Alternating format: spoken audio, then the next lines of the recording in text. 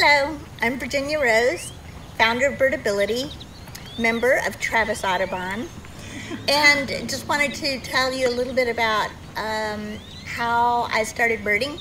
I was driving home from school one day and looking for something to do on a Friday night, and I heard that there was going to be a um, lecture sponsored by Travis Audubon at my neighborhood Unitarian church.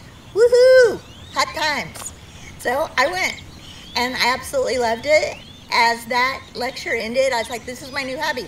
I joined Travis Audubon, I took all their classes, I went on all the field trips, and I have to say, not one field trip leader ever discouraged me or ever told me no. They just took me along wherever they went. I just want to say thank you so much, Travis Audubon, for showing me um, how to bird and how to get out there and be outside and to have an influence on the rest of the people who I hope can learn how to bird and enjoy themselves and get the happiness that I did. Thank you. If you want more information about birding in the Austin area, please go to travisaudubon.org. If you want to know more about accessible birding, please go to my blog, birdability.com. Thank you.